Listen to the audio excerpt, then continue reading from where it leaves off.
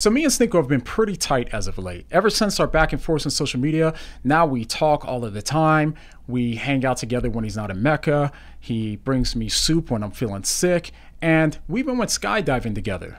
But unfortunately, I regret to report that our guy Sneako needs some help. You see, because in the past, Sneako rejected Christianity in favor of Islam for what he considered to be intellectual and moral reasons, which we saw in previous videos didn't make that much sense. But today, Sneako has updated his reasons, which prompted me to make this video. After seeing where Sneako's been headed, it's clear to me that he's in trouble and here's why.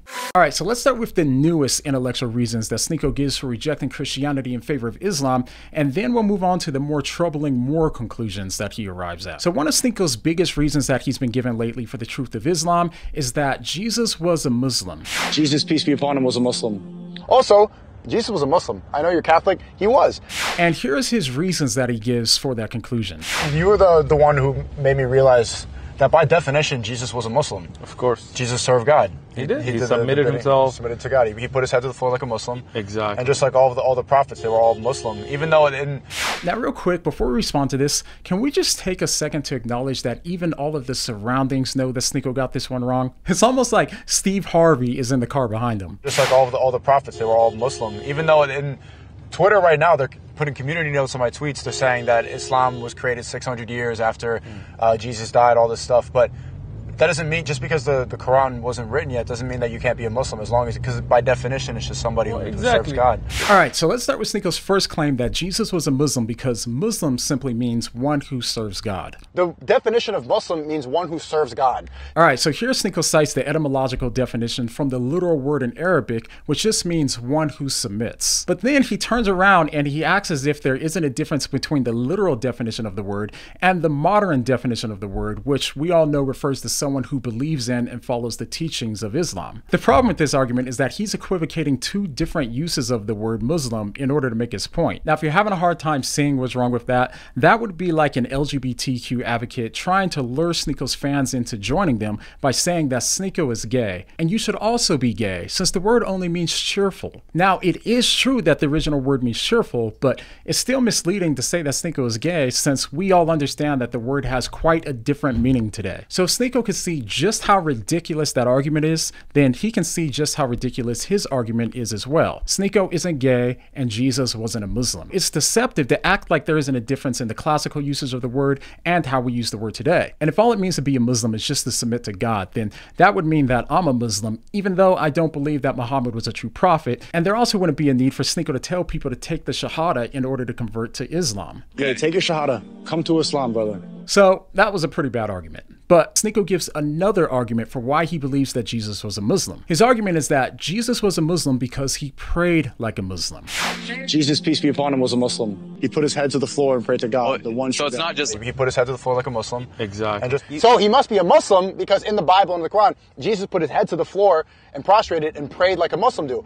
All right, now what's wrong with this argument? Well, unfortunately, Muslim apologists have been making this argument for years, and it only works on people who know nothing about the Bible. For example, the only support that they have for this claim comes from Matthew 26:39, which says that Jesus fell with his face to the ground and prayed. Now, before we see what's wrong with this claim, let's first be clear about what this argument is attempting to show. This argument is saying that we should one, believe this passage because it showed how Jesus prayed, two, that this passage is evidence that Jesus was a Muslim, and three, that Christians should also pray like this since Jesus did. So if we start with one and we do accept this passage, then we'd also have to accept the fact that Jesus prayed also by calling God the Father, which is something that Islam vehemently rejects, given Surah 1988 through 93. In the words of the Dizzle, Allah's got 99 names, but Father ain't one.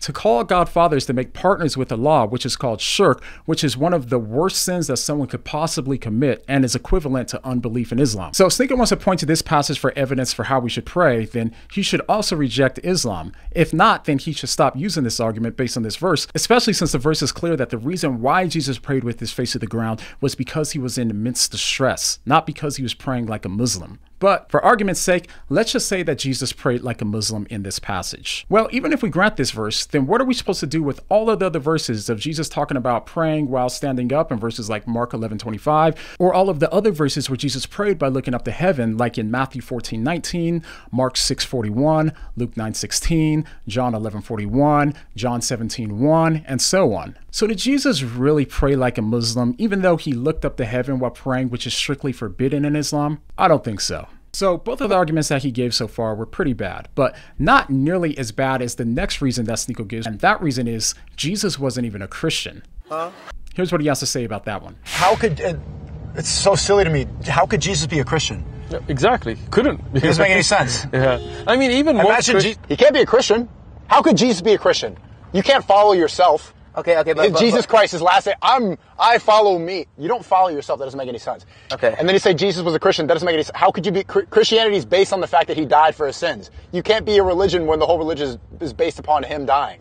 Now, if you found that argument to be incredibly underwhelming, you're not alone. I have no idea why he thought that he really did something there. The problem with this argument is pretty straightforward. When someone says that they're Christian, they're just saying that they profess faith in Christianity, and if you want to get back to the etymology, then the word Christian just means Christ follower. So obviously, since we're following Christ and he's not the one following us, then Jesus wasn't a Christian in that sense. But this is hardly a point worth making since Jesus obviously believed in the teachings of Christianity since he's the one that taught him. I mean, Sneako, what would you say if I said that you shouldn't be a Muslim because Allah wasn't even a Muslim? Well, you'd probably say something like, obviously, Allah wasn't a Muslim since he not only created the world, but he's the one that revealed the tenets of Islam to humanity. And I would agree with you, that would be a pretty bad argument, right? Well, in Christianity, Jesus is God, everything was created through Jesus, and Jesus is the one that revealed the tenets of Christianity to humanity. So I'm genuinely unsure how this is supposed to be a problem for Christians. And before you say that it doesn't make sense for Jesus to be both God and man,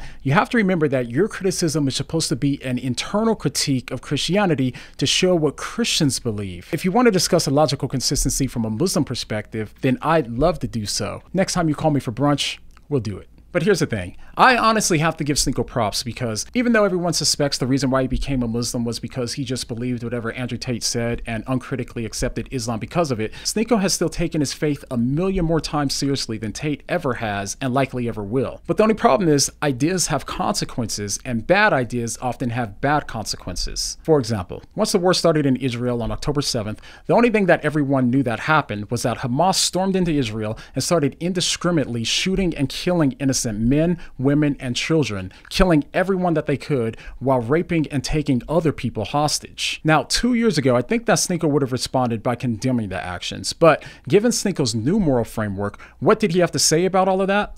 He posted Allahu Akbar, meaning God is greatest. That's the only thing that he had to say about it on X. Think about this. A couple of years ago, Sneako would never appear to be happy that innocent people were being slaughtered in the street, and let alone praise his God for it. And even if Sneako believes that Palestine is under Israeli occupation, which he does, still, why would his first and only response be to praise God for the deaths of over a thousand innocent civilians and children? Nothing else was gained that day. He either thought that Hamas killing innocent people was a good thing, which means that he's been morally compromised by certain Islamic thinkers, and his morality is objectively getting worse worse, not better, or he was only praising his God because he thought that this was the first step to Palestine being free, which means that his critical thinking skills have also been compromised by certain Islamic thinkers, since obviously all Hamas did was destroy any hope for a peaceful resolution. But even more, sometime after this tweet, he tweeted, From the river to the sea, Palestine will be free. And in isolation, I would be willing to assume that he probably just thought that this only referred to Israeli occupation rather than a call for the elimination and genocide of the Jews. But just a few days ago, he also tweeted Osama bin Laden was innocent. Sneako made this tweet after bin Laden's letter to America was trending. And in this letter, bin Laden says that there's no such thing as an innocent American and that all Americans deserve to die. And then he has 3,000 Americans killed, and Sneako says he's innocent. Right, he's the good guy. The same guy that believes that Sneako is not only guilty, but also deserves to be killed because he's guilty. So Sneako's defended a guy who literally called for the eradication of not just Sneako, but also everyone that Sneako loves. So what could possibly make a thinking person accept such a ridiculous conclusion? I mean, does Sneako not realize that even on October 7th, if he was in Israel at that time, or if his mom or sister were, they would have killed Sneako's entire family without hesitation, or worse, taken his mom and sister for you know what. So again, I'm not sure Sneako has thought any of this through well, and that's a problem with being in an echo chamber with really bad ideas. Now, people might disagree with me here, but I honestly don't think that Sneako has bad intentions, and I also don't think that he's dumb either. I think Sneako's open-minded, which can be both a gift and a curse. Being open-minded means that you're open to a wide range of ideas, but the bad side is that it also makes you vulnerable to accepting bad ideas and beliefs uncritically. No one starts off wanting to be a terrorist or a murderer or accepting these radical ideas. They have to accept a lot of little beliefs and thoughts that take them to that place over a long stretch of time. This is why it's so important to carefully and critically accept thoughts and beliefs instead of just accepting them because the people around you agree with them as well. If Sneako does this, I'm confident that he'll not only realize that he's been misled with bad ideas and morals, but he'll also realize that Christianity not only makes more sense intellectually speaking, but morally speaking as well. So, Sneako, the next time that you find yourself uncritically accepting these really bad arguments that you've been given from Uthman and other Muslim apologists, what are you gonna say? What do you mean?